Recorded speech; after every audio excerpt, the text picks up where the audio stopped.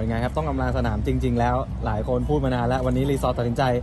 รู้ข่าวเป็นแค่สองวัน เป็นไงใจหายไหมครับคือจริงๆอะผมเป็นคนตัดสินใจทั้งหมดนะครับ การที่มา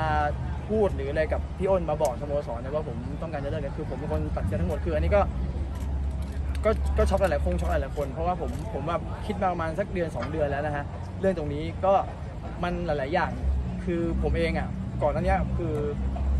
ก็มีเป้าหมายที่อยากจะยิงให้ได้ร้อยลูกก็จริง แต่ว่าพอถึงเวลามันช่วงเวลาชีวิตที่มันผ่านไปจากปีที่แล้วมาปีนี้เนี่ยมันก็มีอะไรเกิดขึ้น นอกสนามเยอะพอสมควรนะครับ ซึ่งผมเองก็ปูทางเหล่านั้นอะไว้ไว้ไว้พอสมควรแล้วกับช่วงเวลานานพอสมควร จนมันเริ่มเข้าที่เข้าทางทุกอย่างแล้วนะครับ แล้วมันก็พอกระประจบว่าเราอายุในในสนามฟุตบอลเนี่ยมันมากขึ้น คือเขาเรียกอะไรกราฟมันก็จะค่อยๆลง แต่พอดีว่าประจวบกับว่าข้างนอกสนามเนี่ยเหมือนกราฟมันกำลังขึ้น ก็อันนี้ก็เป็นส่วนหนึ่งหลักๆ ที่ทำให้ผมตัดสินใจที่จะอำลาวงการฟุตบอลนะครับโอเคมันอาจจะไม่ครบร้อยลูกตามที่ตั้งใจไว้ก็จริงนะครับ แต่ว่าสุดท้ายเนี่ยเอ่อมันมันไม่ได้อยู่ที่แค่ว่า ชีวิตไม่ได้เดินไปด้วยฟุตบอลอย่างเดียวเหมือนที่เราทุกทุกคนรู้อะครับว่าฟุตบอลมันเป็นช่วงเวลาสั้น ๆนะถึงจุดหนึ่งก็ต้องอำลาจากไปอยู่ที่ว่าเราจะสร้างอะไรไว้ตรงนี้ ซึ่งผมก็เชื่อว่าผมก็พยายามทำผลงานให้ดีที่สุด แล้วก็ไม่เสียใจเลยนะครับที่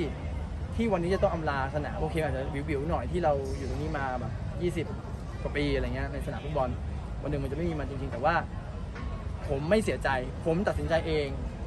ผมคิดทบทวนตัวผมเอง แล้วก็ไม่มีใครบังบังคับ หรือไม่มีสิ่งใดมามาทำให้ผมต้อง ตัดสินใจเร็วขึ้นอะไรเงี้ยนะทุกอย่างมันมันอยู่ที่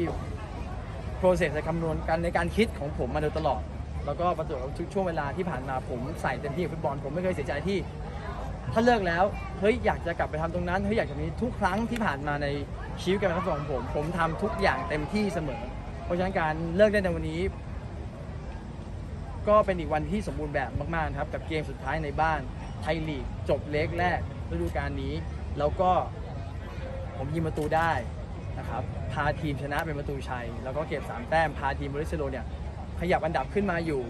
ตัวเลขตัวเดียวที่สูงขึ้นนะครับก็เป็นเป้าหมายที่ที่ที่สมบูรณ์แบบจริง ๆ ที่จบสวยจริง ๆ วันนี้ก็ขอบคุณผู้หลักผู้ใหญ่ทุกคนนะครับที่ให้โอกาสผมในชีวิตการเป็นนักฟุตบอลตั้งแต่เล็กจนโตนะครับ ก็ผมไม่เคยลืมนะครับบุญคุณนี้แล้วก็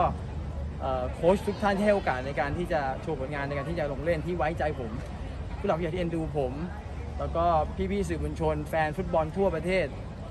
ผมจะนัดเน้นเสมอพูดเสมอครับว่าคนที่ให้กำลังใจผม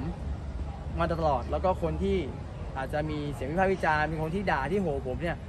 คนเหล่านั้นก็เป็นส่วนสำคัญเหมือนกันที่ผลักดันให้ผมพยายามที่จะสร้างผลงานดีๆ แล้วก็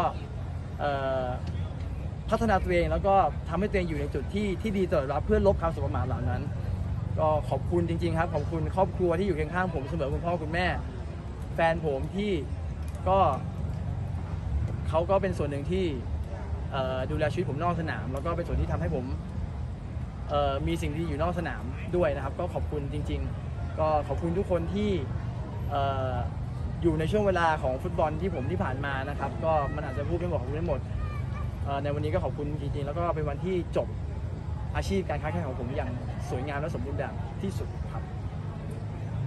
อย่างที่เคยบอกไปครับกับวงการฟุตบอลในอนาคตอาจจะไม่ใช่เลยวันนี้ครับครับกับสิ่งที่รีซอร์หวังไว้ประกาศไว้อืมจะทำยังไงครับ กับการดำเนินต่อไปวางฐานยังไงฮะก็อันนี้น่าจะเป็นเรื่องของนายกสมาคมใช่ไหมครับว่าก็คือมันเป็นเป้าหมายในชีวิตผมนะครับ อีกเป้าหมายหนึ่งซึ่งคุยกับคุณพ่อไว้พักในช่วงหลังๆเนี่ยครับคือคุณพ่อก็ไม่อยากให้ทิ้งวงการฟุตบอล แล้วก็ด้วยประสบการณ์ที่เรามี connection ที่เรามีเพื่อนๆต่างๆ หรือว่าทั้งวงการฟุตบอลเองหรือวงการอื่นๆที่เราได้ได้มีมี connection ไว้อะไรเงี้ยก็ผมก็ก็คงจะต้องก็จะพยายามที่จะไปตามใน process ของมันในการที่จะไปถึงตรงนั้นได้ให้ได้อะไรเงี้ยก็อยากลองดูเพราะว่า คือเราเจตนาของที่ผมผมไม่ได้ไม่ได้ไม่ได้เกี่ยวข้องกับใครนะคือผมแค่มีความคิดของผมว่าถ้าสักวันหนึ่งประสบการณ์ที่เราอยู่ในสนาม มีเพื่อนๆที่มีประสบการณ์ในวงการฟุตบอล ทั้งยุคก่อน ผมเป็นคนที่อยู่ในยุคก่อนยุค ก่อนหน้านี้แล้วมายุคนี้ซึ่งมันก็มีหลายเจเนอเรชันที่มันที่ผมได้สัมผัสเนี่ยมันก็จะเห็นหลายๆอย่างการพัฒนาหรือว่าการที่วงการฟุตบอลไทยมันรันมาเนี่ย